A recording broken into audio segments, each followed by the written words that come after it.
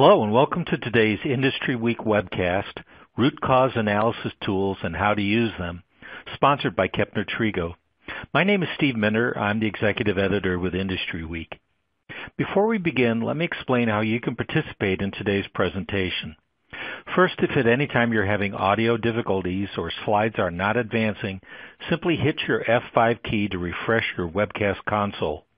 If you have any technical difficulties during today's session, please press the Help button on your player console to receive assistance in solving common issues.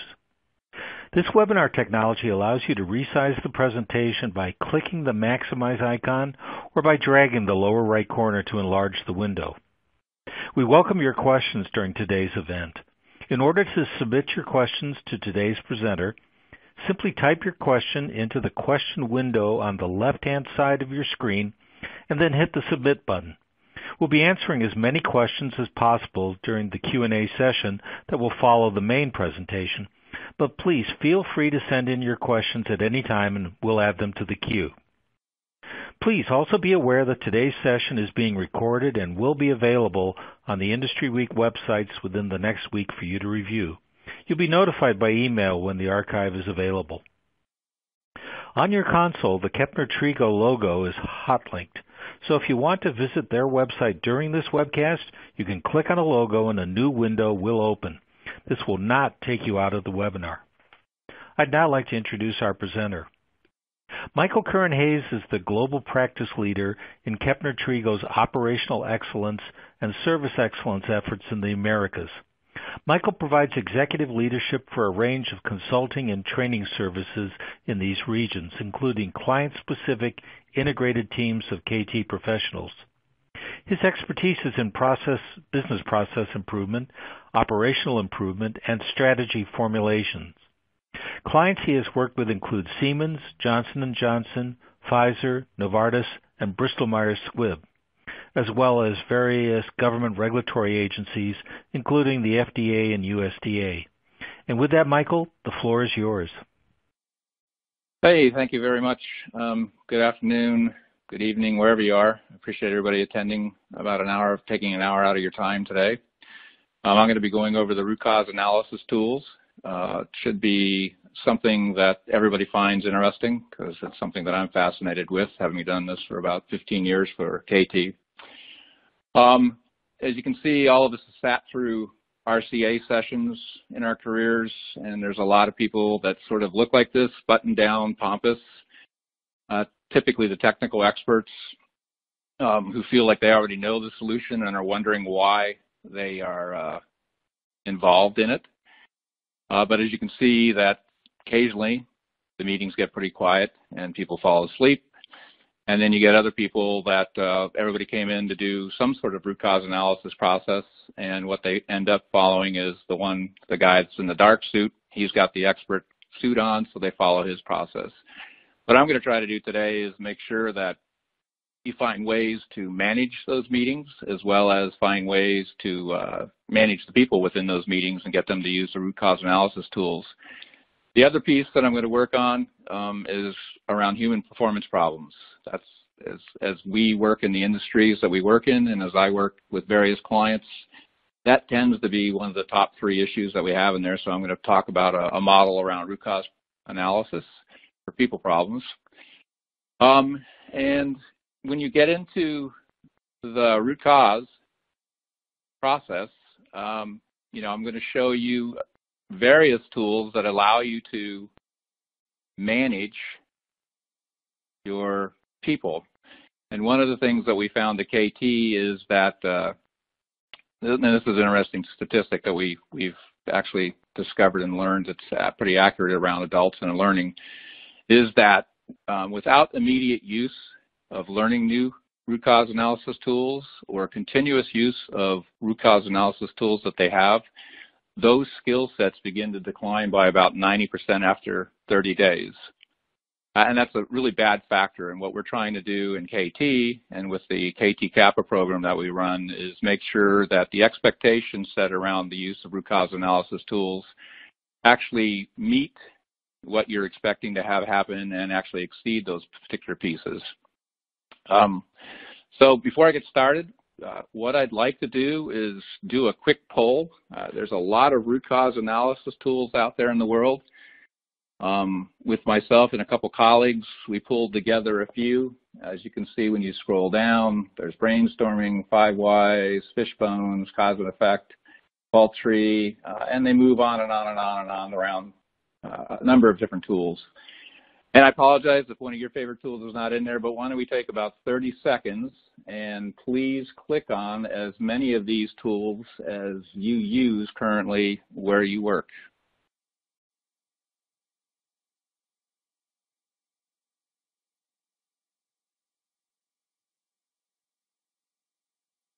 Okay, uh, looks like we're populating them pretty quickly. I know we have a lot of people out there.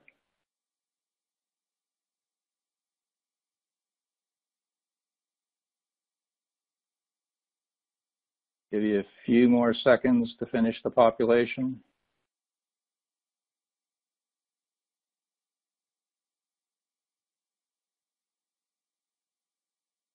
Okay, why don't we go ahead and stop the poll. Um, looks like when we look at this, uh, five whys, which is not surprising, are used almost by 90% of the people. Fishbones is up there. Um, cause and effect. And the FMEAs, agree with that. Although I won't be covering FMEAs in this one but I will be covering fishbones, five whys, uh, a little bit of cause and effect, brainstorming, I'll talk a little bit about. So the ones that people seem to gravitate the most towards are actually the same ones that I tend to use when I'm working with clients and I find my clients using.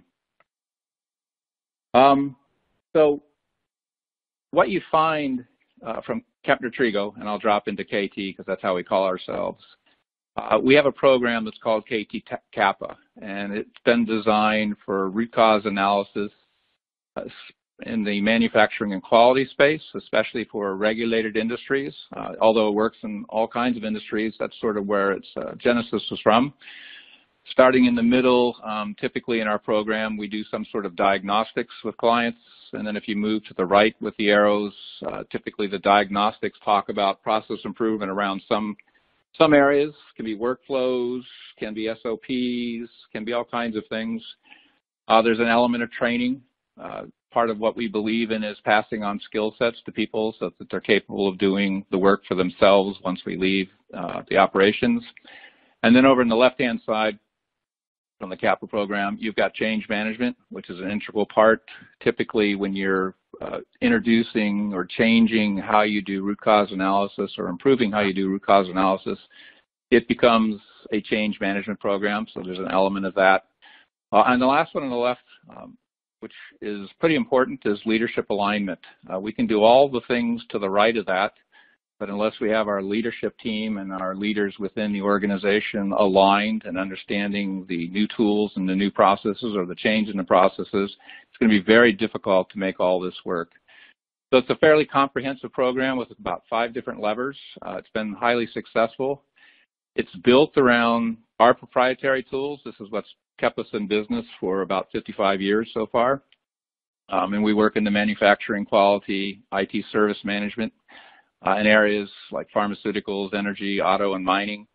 Uh, and the five tools, uh, which are what the company was founded on, are problem analysis, which I'm going to talk a little bit about our process, uh, decision analysis, which is a easy process to choose a corrective action, potential problem analysis, which is a risk management process. Uh, what I look at it as a, it's a light FMEA process, then there's the bottom one, which is potential opportunity analysis, and that allows us to uh, take things that are working well and how do we capitalize on it.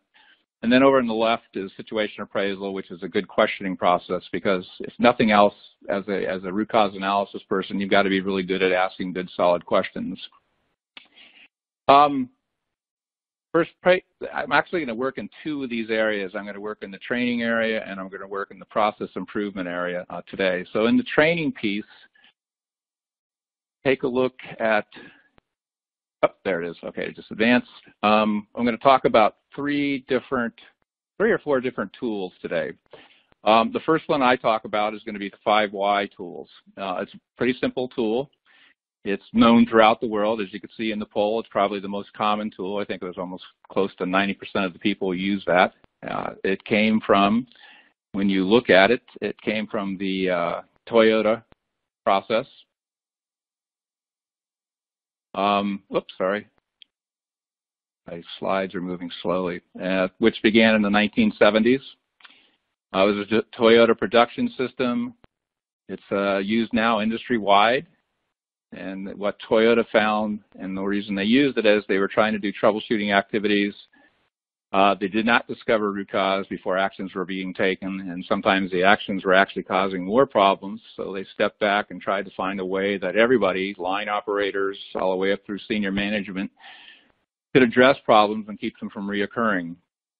So the way a quick review of the 5Y process works is that it is a series of questions.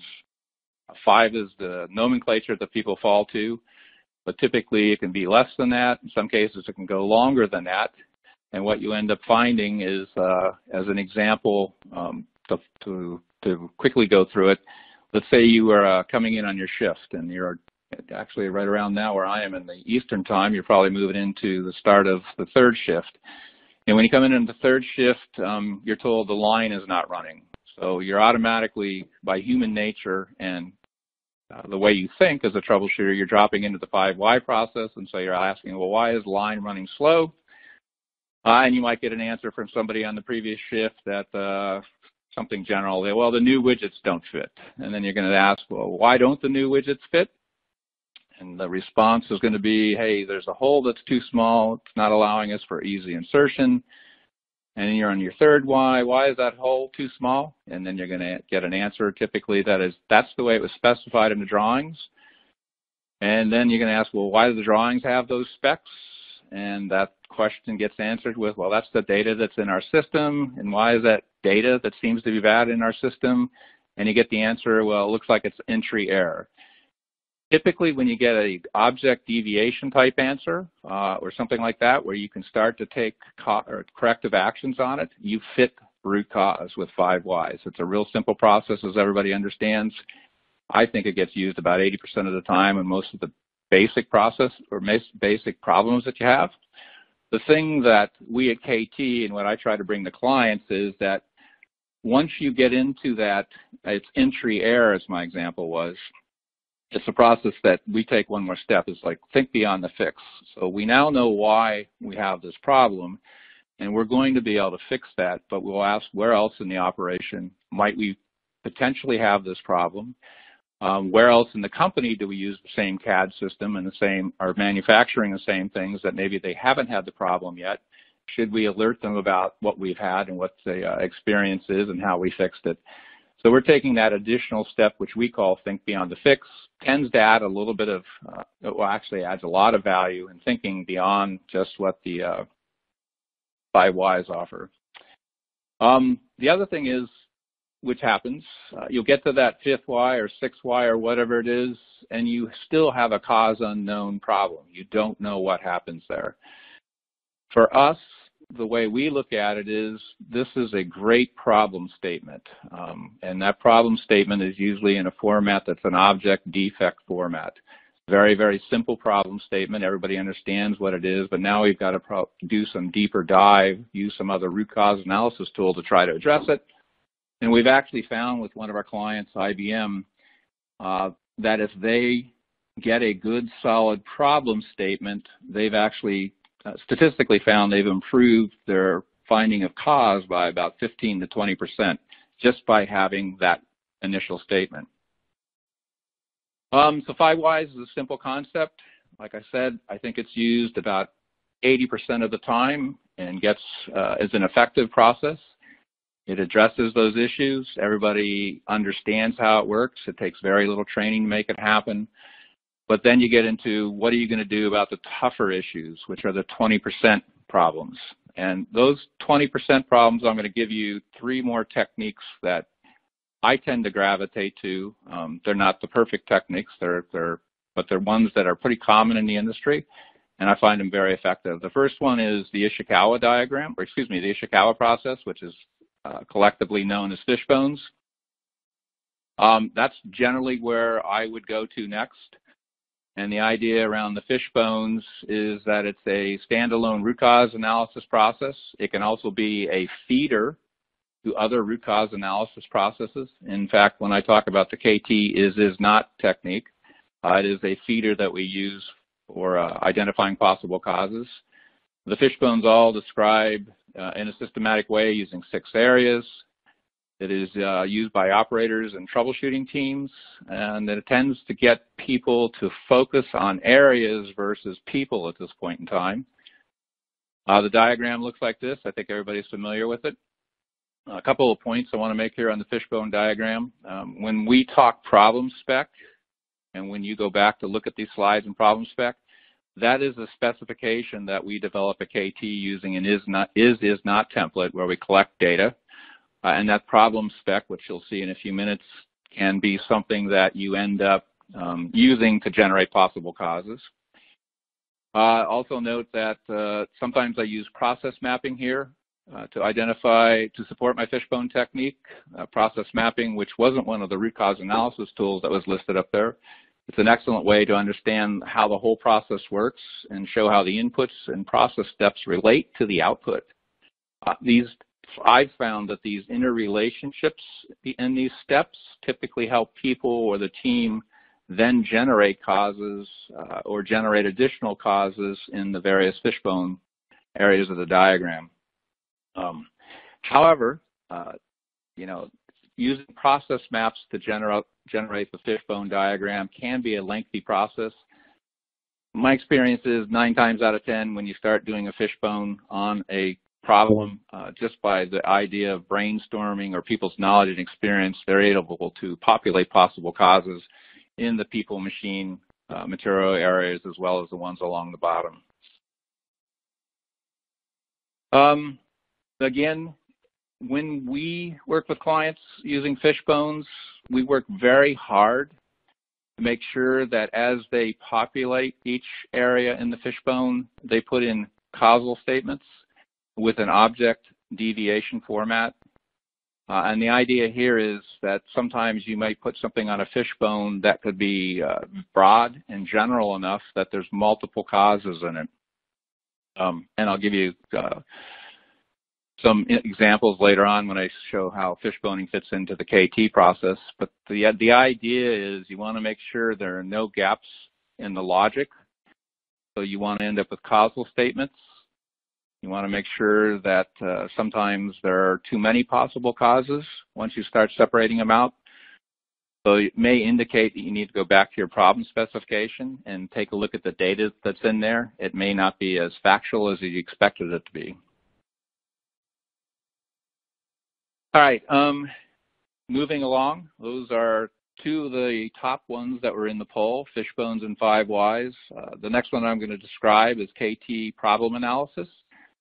Uh, it's it's listed uh, in KT. We call it problem analysis, and the way our first step is a problem statement, which comes out of the five why space. And you get that object deviation, and then we collect data uh, in a structured format called is's and is nots. I have lots and lots of clients that have toolboxes of root cause analysis methods, and in there it's usually listed as an is is not table. I also have clients that say, hey, we're going to KT this one. Uh, the full KT process, which I won't spend uh, a lot of time explaining, I find with clients typically gets on those 20 percenters. They've used five whys, uh, and if that's not successful, they probably move to a fishbone or a cause effect situation. And if that's not successful, and that's usually those two or three techniques tend to get about 80% of the issues, they'll move into the more complex ones, and the KT is is not process is uh, one of the ones that fits that scenario. Um, what it really does is visually, as you can see in this, this PowerPoint slide, it visually lays out uh, the data that's been collected.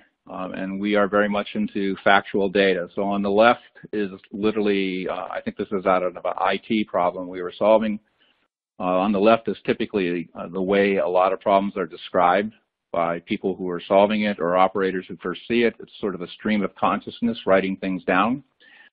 They, tend to get the good quality information, but we want what we want to do in KT is put it into a template and a format on the right side that's a lot easier for people to track and follow. So let me take a minute and explain that kind of template. All right, and you advance that slide for me. Thank you. Um, so it starts off with a problem statement. And again, that problem statement is very simple for us. It's an object a deviation or an object defect. As I said earlier, if you get to the end of five Ys, you're usually in that format. And if you don't know cause, you can lift that last Y out and put it at the top of our template. Uh, we then begin to define the problem into four areas, which are fairly common to how people describe problems. It's what happened, where did it happen, when did it happen, and the extent is how bad is the problem, how many uh, products, how many widgets, whatever's happening with it, you know, how, how bad is it. And they can tell you on that is side in detail what's happening.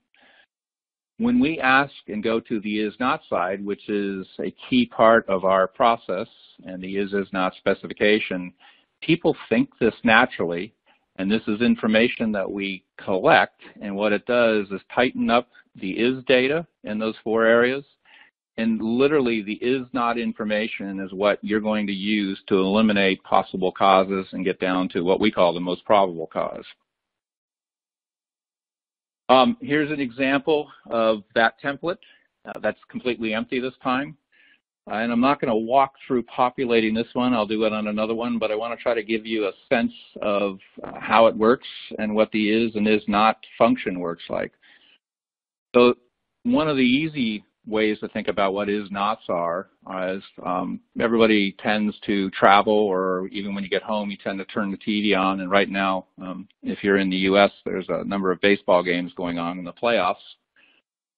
And actually last night I was in New York City so I came back after meetings turned on the TV to watch the game because it was a big game for New York City. And uh, when you turn when I turned on the TV in the hotel room uh, went to the ESPN channel and the screen was entirely dark. There was no picture whatsoever. Automatically, um, your mind starts to think about what KT calls is nots. And so you start looking for is nots to begin to rule out possible causes. So in this simple example, um, I would end up, I ended up turning the channel one channel to the right. So let's say I was on 13, I went to 14. And when 14 came on, there was a picture. Uh, it wasn't the ESPN game I wanted. It was another ESPN channel. But by seeing that was not the problem, that automatically for me, as an is not, ruled out a bunch of possible causes that had already started running through my head. Number one um, was the cable working in the room. Obviously it is because channel 14 works. Uh, number two possible cause was the cable box to my TV working. Clearly it is. Another thought I had was cable out for the entire hotel. Well, obviously it wasn't because the other channel showed me uh, that there was a TV picture. So by that simple mental exercise of looking for is nots when I compare them to my is's, so my is was channel 13, the baseball game. Channel 14, the is not, has a picture. It's closely related and it tells me automatically that a bunch of possible causes make no sense given the data. So that's how the is's and is nots work. Uh, we lay them out by asking questions starting in the first row and work left to right. We'll go down the second and left to right. And we end up populating the uh, entire table. Oh, not a moving, please advance it.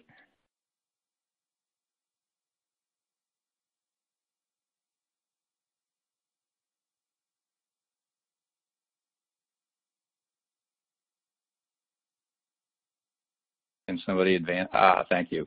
Oh.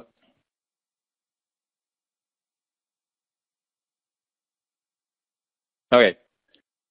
So now I'm going to show you, using another example, how the table gets populated by going left to right through the columns. Now, this was a uh, investigation that we helped uh, in the uh, German market around automobile problems. So you have your problem statement, object, defect, cars are crashing. Uh, they actually, I mean, it's, it's a real simple example, but it actually is very effective in showing you how this how this whole table gets set up. Um, at that point in time, we weren't sure why the cars were crashing, so we decided to pull together a problem spec. So the first is it's cars. It is not semi trucks or buses. Next one, it's they are crashing, total loss uh, of each car. It is not broken down that car or a minor incident, just a fender better, excuse me, fender bender. Um, then we move into the where areas. It's happening on the Autobahn and where specifically on the Autobahn, we would ask it's five kilometers stretch south of Cologne. Uh, it is not happening in other urban areas of the Autobahn, such as Berlin, Munich, Frankfurt, etc. Um, where is it happening on the car? Well, it's actually impacting the front, but then the damage is all over. It is not happening uh, any specific spot. So like uh, you maybe sideswipe, some, sideswipe something and it's on only the right side or the left side, depending on which way you're traveling. When did it start? Early September. Uh, it wasn't seen before September. It's continuous. We see it all the time with cars in that section. Um, it is not periodic. It is during the night, which is a key piece of information. It's not during the day or at dawn or at dusk. And then we get into the extent information. It's, I mean, there are accidents all the time in the Autobahn in that particular stretch, but in this particular case, starting in September, it was about 2% above the average. Uh, it's a total loss on the car. It's not cosmetic or minor damage. Um, NMDs come up sometimes because you ask, and there are specific questions that we have uh, aligned to these four areas. There are times when you ask the specific question of the people that are involved, then they don't have an idea or they're not sure about the data. So we use the acronym NMD, need more data, as a space holder so that we know, hey, we don't have facts yet for that area. And the last extent question is, hey, it's stable, it's not increasing or decreasing. So in a real simple example, that's how we uh, would fill out an is is not table for cars that were crashing on the Autobahn uh, near Cologne. Then we would take the fishbone and either the fishbone hasn't resolved the possible cause or we've identified the fishbone as a way to generate possible causes. Either way works for us in KT. And in this particular example, I'm going to pick something out of the environment area of the fishbone. And the idea is here, uh, one of the possible causes is that it's black ice. So what we would do is test the possible cause of our cars, our crashing is black ice against each of these pairs one at a time. And the concept is we want to take this factual information that we have right now and eliminate the possible cause if any of the facts do, or write down assumptions uh, if they get through some of the facts or actually confirm that that is root cause. So in a quick example, it would, we would say if uh, black ice is the cars, the reason why our cars are crashing, how come it's only happening cars and not semi-trucks or buses? Uh, and you might get some answers like, well, you know, buses and semi-trucks, maybe the black ice isn't that thick, so they're able to manage their way through it. For us, that's an assumption. We document that, and then we go down to the next one. So if it's black ice, why does it cause a total crash and it's not like a fender bender or a broken mirror or something like that? Well, that fact makes some sense with black ice because typically, when, excuse me, when you hit it, you tend to, you know, lose control of your car, so that would allow you to have a total crash. Um, so that those two facts make sense. So if black ice is the cause of our cars crashing, how come it only happens on the Autobahn and not uh, anywhere else? And the excuse me, the five kilometer stretch of the Autobahn and Cologne and not anywhere else. Well, that pair of facts really makes it difficult for black ice to be our root cause or even a potential possible cause because when you step back and look at it, and we were working with people there was black ice uh, in various spots of the Autobahn outside of Cologne, uh, beyond just the five kilometer stretch. There were black ice periods of time. Um, at the same period when we started in early September, and the other areas, yet none of those other areas or other areas around Cologne were showing any kind of, or having this particular car crashing incident. so in our process, uh, black ice was ruled out as a possible cause. And then if you went back to your fishbone, we take another high, high probability possible cause and run it through uh, the is is not specification. So in short, um, that is the is is not KT problem analysis. Um, oh, sorry. It is a nice way to collect factual data. It does not take a long time, as you saw. Um, and then the fourth tool that we use, that, that I like to go to and gravitate to, is another root cause analysis tool called 8D. Um, it's a common process that was that is was started in the automotive industry by Ford. It was actually something that KT uh, developed as well years and years ago. The reason that I really like it is that it's scalable. Um, you can introduce various root cause analysis techniques within the 8D process, and I'll show you a template in a little bit where we've done that. Um, you can also introduce in the 8D process human performance problem analysis. Uh, on the right-hand side are the steps in the 8D. Uh, there are eight steps, obviously. Uh, they're labeled as Ds, as you can see, um, and most or, or half of the steps are around developing the understanding of the issue, and then the other half of the steps are around taking action. Um, can somebody advance it?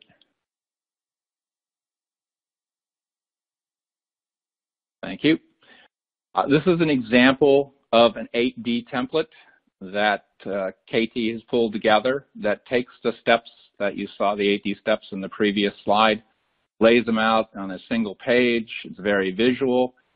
Uh, you can see that in this process uh, at the top is a problem statement. This is where we would introduce five whys. If at the end of the five why process you still haven't found cause and you want to go to the 8D root cause analysis process, right there we put the object defect 5Y.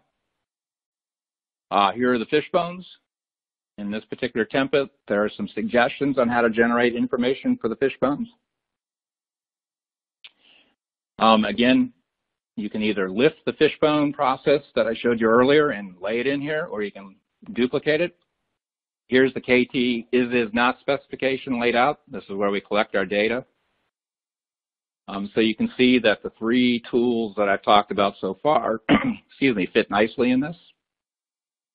And then when you take a closer look at it, it's got a lot of other good visual information, which is why this one-page template makes is such a powerful thing. This particular area that the cursor's on, you can put pictures of the issue. Uh, this particular area down here, you're you're able to put in some process maps, some workflows. Over here, you're testing out your possible causes and able to show that uh, you know which causes were considered, which ones were ruled out, and why. And then you move into containment actions and root cause analysis. And even down here is the idea of think beyond the fix. You found cause, you've contained it, you've done the corrective actions. You know, now you've done uh, a little bit of preventive action. Where else in the uh, plant might this work? So it's, it's a pretty slick template using the 8D process that's able to build in other root cause analysis techniques.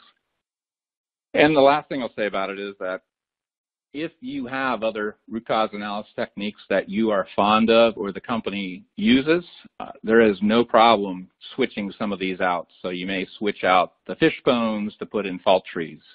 Uh, that's, that's the beauty of this. You can almost plug and play with it. All right, so summarizing, um, I've talked about four different methods. They work well in a break-fix environment uh, around, around mechanical, chemical, or biological issues. Those are the typical ones that I work with when the type of clients that I uh, tend to see. Um, they help you fix problems faster. Um, people who are trained in them and use them often enough, remember that uh, they've got to use them a lot so they don't lose the uh, understanding of them. They'll end up um, feeling confident using them.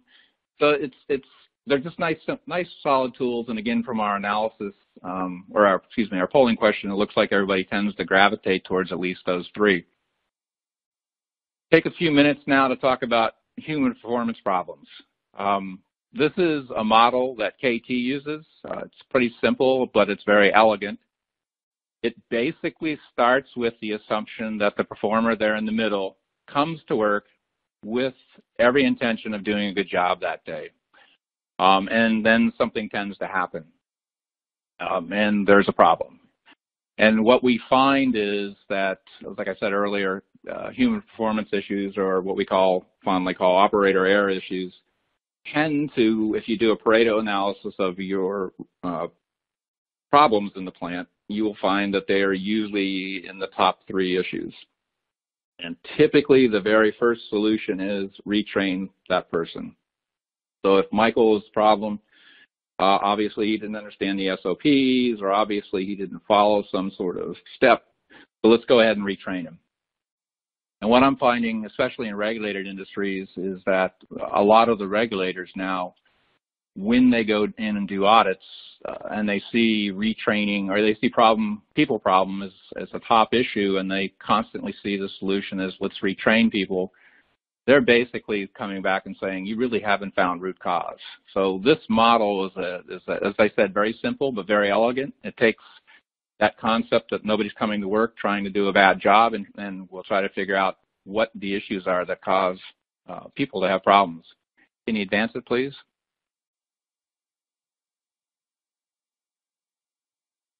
All right. Uh, again, KT is a data factual type company. This is the model again. It's called a SPRCFID model, as you can see. Uh, and these are the questions that we tend to ask of the performer, which might be in this case the operator, to try to understand why that operator or the team or that shift are having people problems. Uh, we'll look at the response that we're seeing, which is the R. We'll look at the consequences that are happening, encouraging or discouraging consequences uh, for those people or that operator. We'll take a look at the feedback that's happening. Um, and we'll also look at the environment situation that's around that performer. Um, uh, you know, is, is it conducive to performing that type of operation? This is a bit of analysis. Um, it's not difficult analysis to do for people problems. The questions are pretty self-explanatory. Uh, you're asking the performer, you're asking people there, you're going out and observing the line to start to gather this data.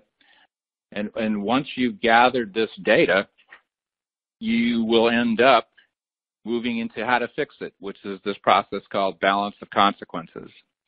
And the idea of balance of consequences is that you have a, basically the way I look at it is the performer on the left-hand side and what the desired response that you're trying to get out of that, that person or that team or that shift is up at the top. Um, and then down at the bottom is what you're trying to achieve. And then you use this tool to begin to find out what root cause is. Um, this tool actually easily identifies and demonstrates the nature of the consequences to the performer, uh, whether they're immediate or delayed, and the positive and negatives are encouraging consequences for positive and discouraging consequences on the negative side um, and you're laying out the information that you got when you collected that data on the previous slide in these blocks.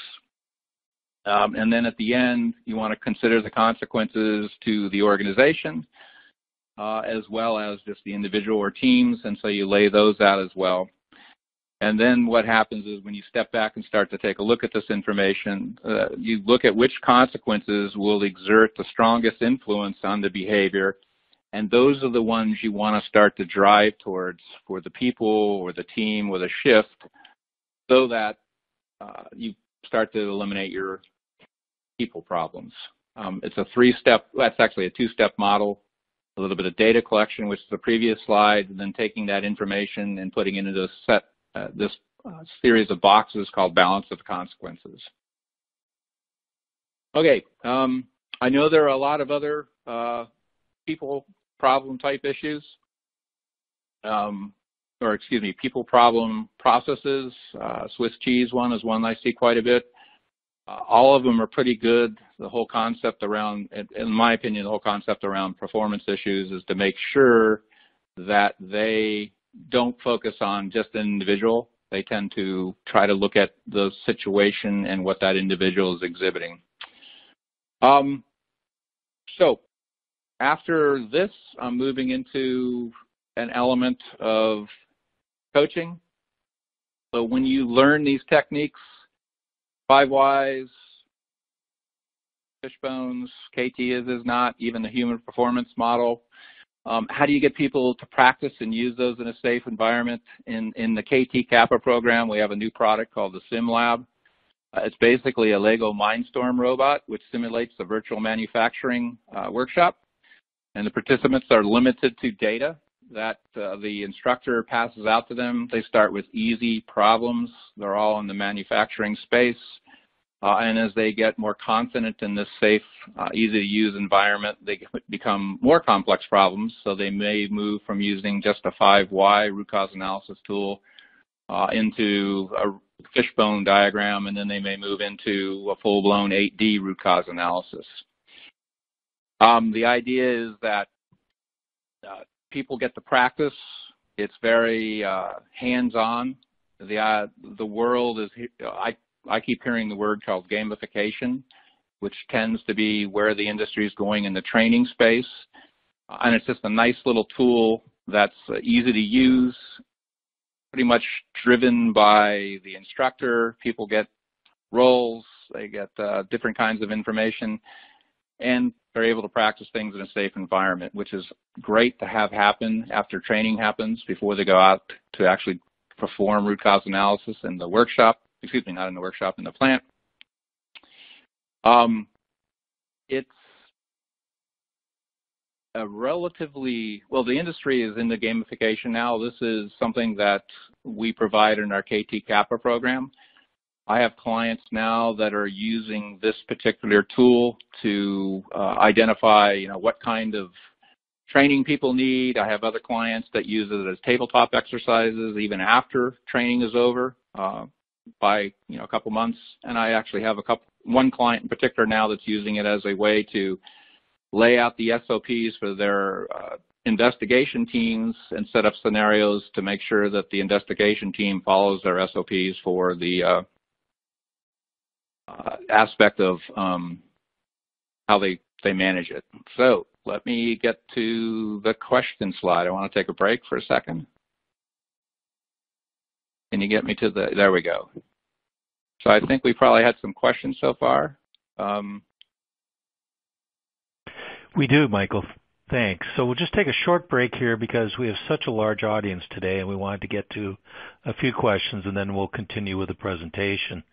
The first question is, what's the difference between fishbone and cause effect? Um, to me, the fishbone is is more graphic, graphical. Um, it's it's very visual. People can lay things out when I go into plants. Uh, it, it, lends itself to being in a uh, shift change for a huddle. It lends itself on a wall. Um, cause and effect is is very similar to it. Um, but I look at, in my mind, cause and effect is where I end up using timelines uh, which aren't bad to use with fish bones or anywhere else, but cause and effect tells me, okay, this is the something that causes, this is the effect I see. So th they're not radically different, but I, I tend to like the fishbone because of the visual aspect of it. Okay. Our next question is, how often do you find that you have done five whys on the wrong problem do you have a problem definition to assure that everyone has the same definition ahead of the five whys? Yeah, that's a great question. Um, and yes, I confess I've done five whys on the wrong problem. I've done other tools and techniques on the wrong problem. Um, if you go, if you can recall back to that slide where we had the KT methodologies, that was that orb. So we had uh, problem analysis decision on the right-hand side, and on the left-hand side was situation appraisal that questioning technique that we train people in is one of the aspects of it is designed to make sure we get down to the right problem and the right type of tool. So as we separate and clarify issues, we do these, this can be used in shift change meetings, this can be used at the shop floor by the operators. I'm actually going to be doing a situation appraisal for a senior leadership team uh, around their upcoming issues for calendar year 2018. But the steps in that process get you down to actionable items that you identify then are either problems or decisions. And then after that step, you identify who it is that you want to get involved and what tool you'll use. So with that as my starting point, even when I go into a place, somebody will tell me it's a, this is the problem. I will take a few minutes to do what we call SA or situation appraisal. Okay. And um, our last question right now is, as a retail marketing company, I deal with outsourced vendors. Do you have customers with this format that send your templates out to their vendors to populate? We do. Um, there's a bit of risk in that. Uh, and the risk is if that vendor doesn't understand the process and the template that you're sending to them. So a bit of education goes a long ways in that process. Um, I, I think it's actually really important because many of the issues that I see are called SOS, supplier of suppliers, you know, like your tier two, tier three vendors um, the ones that made the parts for the supplier that you're buying that product for in the retail space. And if you just send out templates to them and ask them to populate it without a little bit of explanation or a little bit of education or even in some cases formal training, you may come back with, you may get back the information that is absolutely, uh, doesn't help you do anything. So it's a bit of time to educate people and you can do it quickly in a webinar in today's world. I mean, a lot of people have the supply chain that comes out of uh, non-U.S. operations. So getting on a webinar real quick and walking them through, let's say, uh, KT is, is not, and explaining something like that goes a long ways. Okay. And uh, Michael, we'll go back to your presentation now. Okay, great. Um, so the last place I'm going to finish out, because I have about uh, 10 minutes uh, before we get to the last Q&A, is around process improvement. And what I want to try to achieve here is what we found in KT to really make root cause analysis tools stick, you need to have a couple things that have to happen. One is coaching of people, and that's why the SimLab is, is a nice uh, modern way to do the coaching. You can actually coach people side by side, but a safe environment of coaching makes it a lot easier. The other piece that has to happen to make people use the root cause analysis tools or, or at least trigger people to use the root cause analysis tools is integrating the templates or templates into your workflows, SOPs, or business processes. So that's what I'm going to focus on uh, to finish this out. Um, again, mine's stuck. Could you advance it one, please?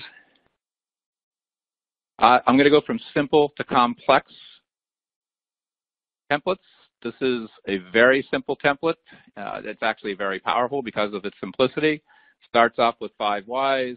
Uh, and again, these templates I, I, find used all over the place. I find them posted on walls. I find them by the operators. I find them embedded in the SOPs. Uh, I find them as uh, uh, Word documents that are in software systems for quality investigations. But any way you can get those templates that help people use the uh, root cause analysis tools visible to them that automatically triggers them start doing that thinking, which is the way the brain operates. So we've got five whys at the top. Um, if you know what the cause is, you're going to go down the right-hand side, confirm true cause, uh, and make sure you've documented things. If you're unsure what the, the cause is, you're going down the left-hand side. You might use the KT is, is not problem specification uh, to get the data collected, and then you go into either fishboning or brainstorming or using your knowledge experience to generate possible causes and test those against that is is not specification.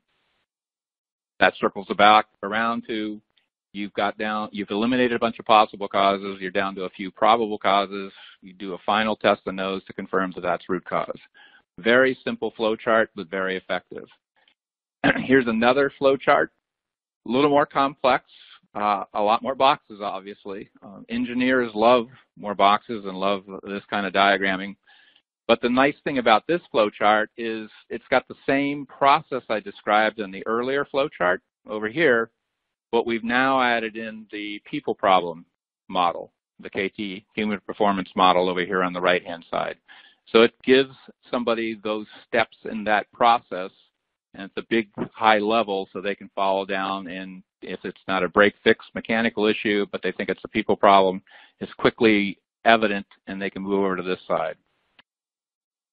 Um, a next kind of process that we pull together, a next matrix that we pull together is what I call an issue escalation matrix. It's still what I would term, it's probably somewhere between simple and complex. Basically, it's a table that we develop with clients. It's usually around four levels from minor to major problems.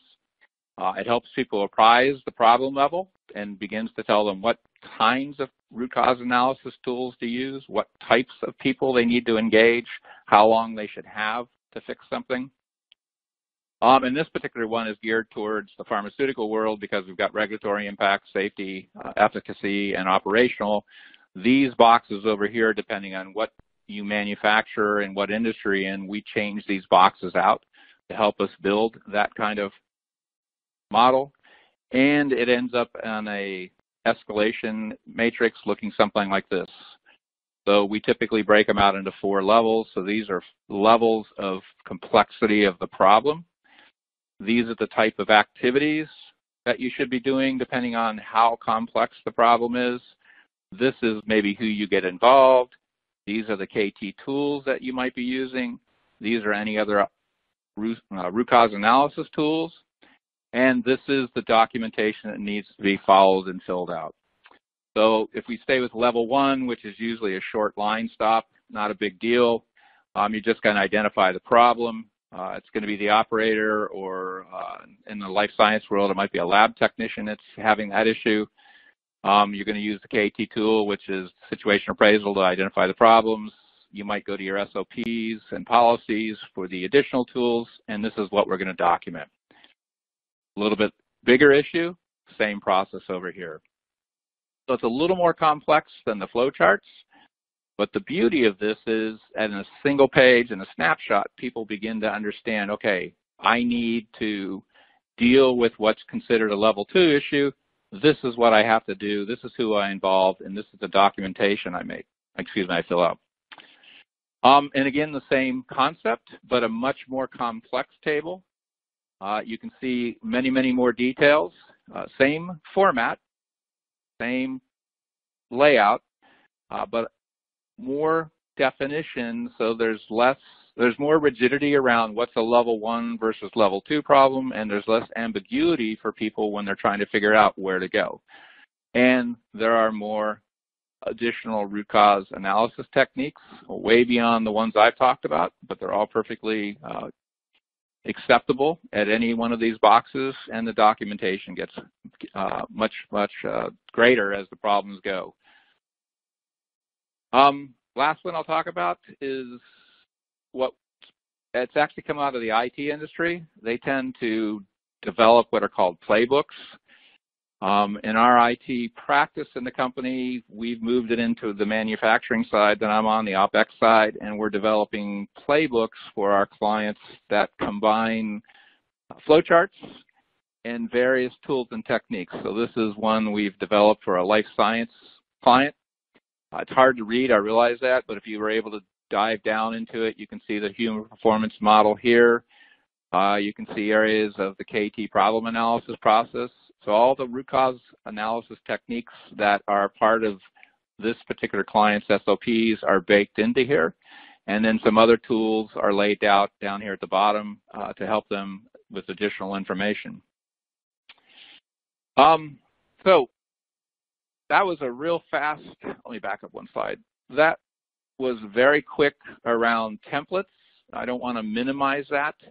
The idea is taking the tools uh, and root cause analysis techniques that you've decided to embrace and take templates and bake those into your workflows, put those into your SOPs, make sure they're part of your business processes. Because what happens is as people follow those processes, those templates become triggers for them to say, okay, I need to use five whys or I need to use fishbones. And those templates laid out help them mentally understand what they learned or what they might have done you know previously and reinforces things so integrating templates from your tools into your workflows is huge it adds a ton, ton of value Uh, finally, um, give you a quick case study. This is a telecommunications company. Um, they achieved their four times over improvement goal. Um, they identified a few root cause analysis tools. They developed some internal coaches that were operators that we supported them with that development around soft skills for coaching. Uh, they've added in some other tools. They made sure it was embedded into their processes. Uh, and they also decided to embrace the sim lab and use that for a safe environment to practice things. And what ends up happening is a, ton of improvement, and it was way beyond what they expected. Uh, the training was reinforced, and the bottom line was they were able to exceed their improvement target by about 300%, and they delivered uh, in the telecommunications space 64% reduction in uh, MTTR, which is mean time to restore or resolve, over a nine-month period. So that's pretty substantial. Uh, it's a it's a very recent case, and uh, it, again, it shows you the beauty of root cause analysis techniques combined with templates, combined with coaching. Um, okay, so I am being advanced to any final questions. Anything there that uh, needs to be asked, Steve? Yeah, we've got a number of questions. Um, so we're going to jump right into that. And while Michael's answering your questions, please take a moment to complete the feedback form that appears on the left-hand side of your screen. And with that, we will start with can the people problem process presented be used for individuals or groups of individuals? It can be used for both.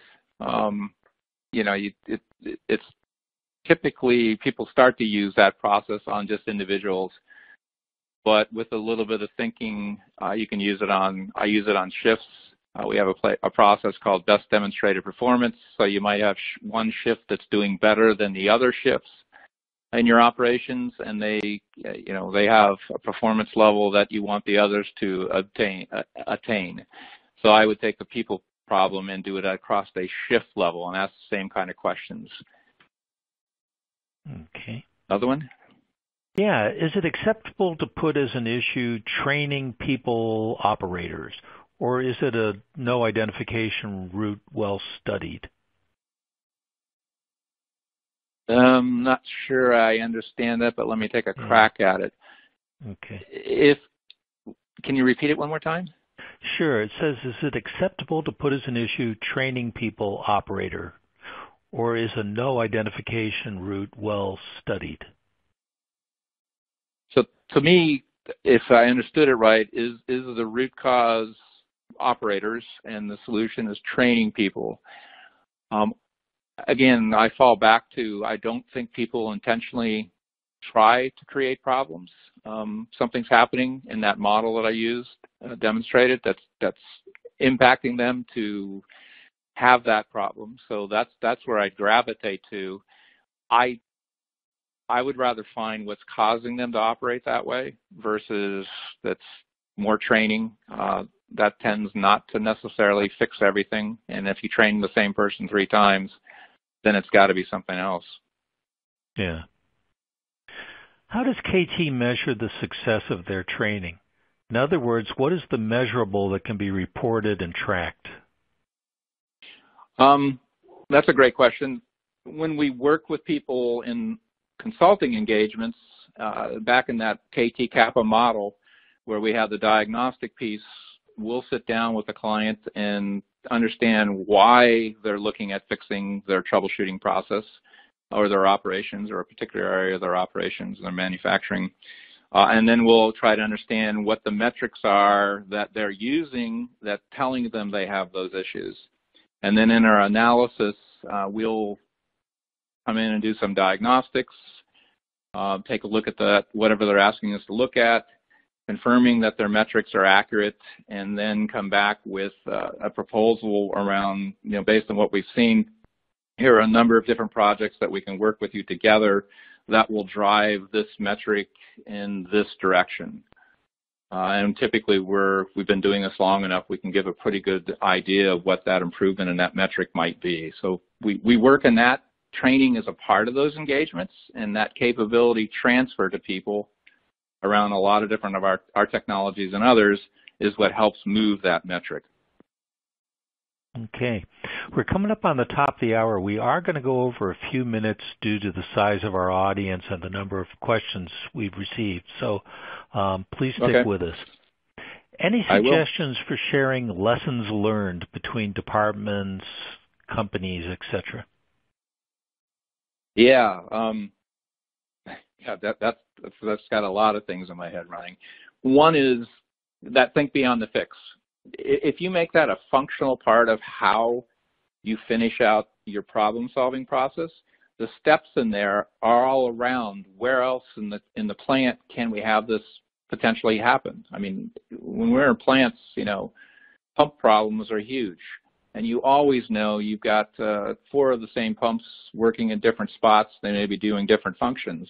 But if you have one that's giving you heartburn and you've solved the problem, you should automatically be thinking about alerting the other areas of the plant to what you found. Um, same thing goes, and I, I see it a lot in the life science space, where it's plant to plant. So you'll have a sister plant manufacturing identical or very similar products. One might be in Puerto Rico and another might be in Ireland. And what happens is the plant in Puerto Rico has identified the root cause of something that's been systemic, and they've done a good job of expanding that think beyond the fix out into the, the plant itself. But what they need to be able to do is elevate that out and put out an alert to the rest of their company, uh, and specifically to that plant in Ireland that I gave as an example that's manufacturing the same thing about what they found. The way to do that, um, it's easy as an email, pick up the phone. More formally, the way to do that is through some sort of SOP or software system where they can access what you've done and be able to see the data and then apply that to their operation. Okay. What else?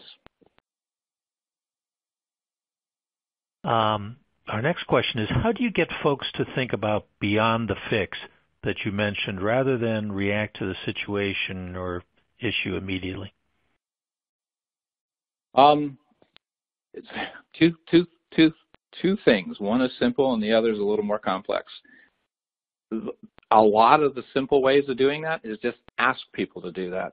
Um, the, the, reality is people want problems to be solved. They want their jobs to be uh, less complex. They want it to be easier. And, and the way to do that is to start doing think beyond the fix. Um, and the way to get them to start doing that is if you're in the management level, uh, you've got to remind them of that. Um, you've got to ask them to do that. You have to help them do that, talk to them through that. Then more formally, um, you can have it like we do in the 8D root cause analysis template where it's a formal step at the process. And again, that gets back to if I get a bunch of those templates back and that step, which I think is right at the very end, there's nothing in there. I know people aren't doing that. So now I'm going to go back out and walk the walk and start talking the talk. Uh, it, it's changing people's behavior is, as we all know, challenging. That's why we have in the KT CAPA program a whole lever around change management. But really what it gets down to, and I was with a senior vice president up in Boston uh, two weeks ago who was big on change management. Um, and he says that basically it's winning it over one person at a time for a, a period of time until it gets a hold and you move along. Hmm. Okay. Um, so we've looked at a number of tools in this webinar. Next question is, how can I know what's the best tool to use? Um, a bit of that is what's what's your culture comfortable with. Some industries they're not comfortable with highly complex problem-solving tools. Um, other industries are. Uh, some operations, I think just about everybody has heard of Five Whys no matter what industry you're in. Um, so that's why it's a, my go-to basic tool. Uh, and it's easy for people to follow. And once you start showing people success and using a RCA methodology, they tend to want to learn more. And then you just have to step back, uh, you and the rest of your management team, and identify of all the root cause analysis tools out of the critical few. You don't want to bury people with, you know, six or ten because they're only going to use one or two. And you want to figure out what those one, two, or three tools are that you want them to continually use. And then we call that a common language. You pretty soon find people using those over and over and over, like in those meetings, those first few slides I have. You know, in mm-hmm. fact, I hear a lot when I go to clients, they, they'll tell me, hey, we're going to KT this one. And that's all they need to say. Everybody knows they're going to start with filling out that problem specification, the is, is not.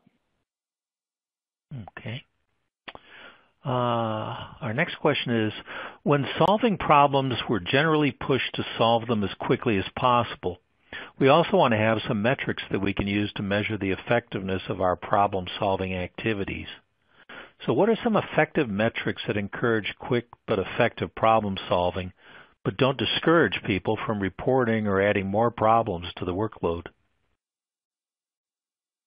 Um, you know, it, that that's that's a hard one. And the first metric that jumps to my mind is that one I use in the case study, the MTTR. Um, and, and, it's a pretty good metric. Uh, the amount when you go to the tables that I had, the issue escalation table, um, the more complex one, which had the yellow band and the red wording on the right-hand side, it talks about levels and it talks about, uh, you know, five-minute uh, shutdown or five minute line stop, this is what you do for level one. And those mm. kinds of timing things help people understand how do I do things quickly? Um, how do I do things that are more complex or at a greater level? The other thing is quickly to think about is, you know, what are you reinforcing as management? There is a ton of pressure to fix things quickly, um, but uh, you know, you've you've got to pick a few metrics identify those and find out what's driving those and build uh, momentum to make those work. Happy to talk to anybody about various metrics. Okay. Um, have you had any experience with an apparent cause? Do we treat these investigations the same as a root cause? And what was the first apparent cause? Yeah. Have you had any experience with an apparent cause? I'm not certain what an apparent cause is. I'll take a stab at what I think it might mean. Um, when we work, there's you, you always have in in shifts or meetings or whatever uh, people who know what what the cause is because we saw that last week or we saw that last year. Um, and so if that's to you an apparent cause, I agree and they tend to be the ones that people say, "Oh yeah, we saw that last week. Um, we did this to fix it. Uh, let's just do it again." And my position is, you know, you might be right, but let's stop and think for a second about that. Let's let's gather real fast a little bit of data, and then take that cause through that data and make sure that it's really the root cause. Uh, hmm. a lot of times apparent causes come back uh, because you haven't found the root cause. You haven't spent the time to get down to what's really the cause of the cause. Okay. And uh, I think uh, just have time for one more question. That is, do you sure. utilize the fishbone to eliminate areas that do not address the problem? Ah, yes. Um, so you've got all those bones. Um, and you'll lay those out in a fishbone technique like we showed in the slides. You'll lay in possible causes in each one of those bones.